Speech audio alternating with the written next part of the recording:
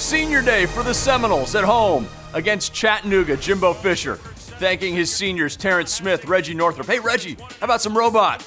Early on, Dalvin Cook, he missed most of the first quarter with an injury. It was treated. He comes back in. He goes off left tackle.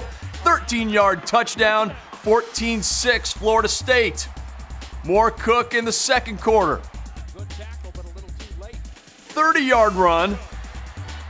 Finally chased out of bounds. He had 98 yards in the first half. That sets up a Roberto Aguayo field goal, 17 6 Noles. End of the half. Florida State driving Sean Maguire. He got the start for the Noles over the middle to Kermit Whitfield.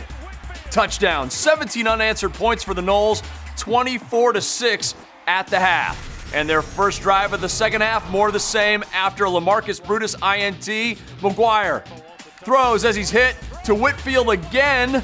31 to 6. Maguire hurt, but he would be able to return. Maguire in the game, 12 of 17, 152 yards, two touchdowns, no picks. The defense playing well.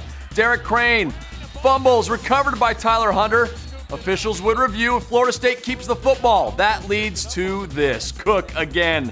Florida State averaged seven yards of play in this game.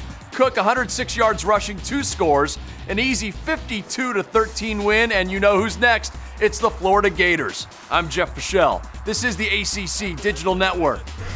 We are the official home of ACC football. For must see moments, click the box on the left. For game highlights, click the box on the right. And for everything else from the ACC Digital Network, subscribe now. Do it!